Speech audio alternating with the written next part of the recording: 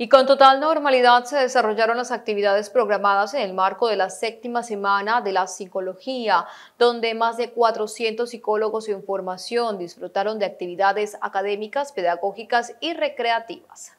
Las actividades pretendieron la participación del sector externo, esto teniendo en cuenta que parte de las temáticas abordadas incluyen problemáticas de salud pública como el consumo de sustancias psicoactivas, violencia intrafamiliar y suicidio, donde el departamento del Caquetá ha sido referente. En este espacio se da la oportunidad de que otros conozcan lo que se realiza dentro del programa académico, es decir, las temáticas, enfoques y procesos que se abordan dentro del campo de la psicología.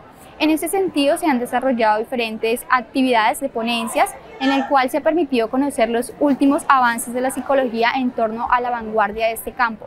En ese sentido, además se realiza mm, la feria psicológica en el en la cual se aborda desde lo que es nuestra Semana de la Psicología en la séptima versión, es decir, psicología y juventud. Por lo tanto, se abordan algunas temáticas como desarrollo infantil, nutrición, trastorno del desarrollo, entre otras. Como cierre se tiene el día primero de diciembre eh, realizar actividades lúdicas, deportivas de integración social con la comunidad del programa de psicología.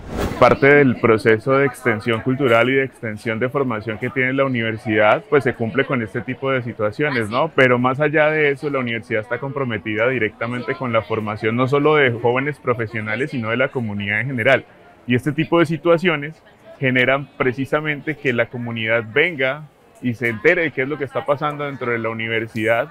Eh, eh, puedan percatarse de los conocimientos que se están adquiriendo y de la forma en la que se imparten estos y obviamente aprendan cosas que les pueden servir para su vida diaria. De esta forma, la Universidad de la Amazonía continuará trabajando en la formación de profesionales que atiendan las necesidades de la región y sus comunidades desde diferentes áreas del conocimiento.